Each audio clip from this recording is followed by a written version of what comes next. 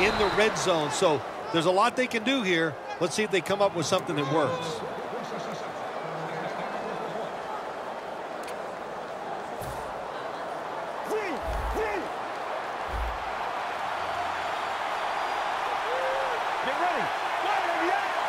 First and goal. Here's the handoff, and they'll run it. The blowout continues. Another touchdown.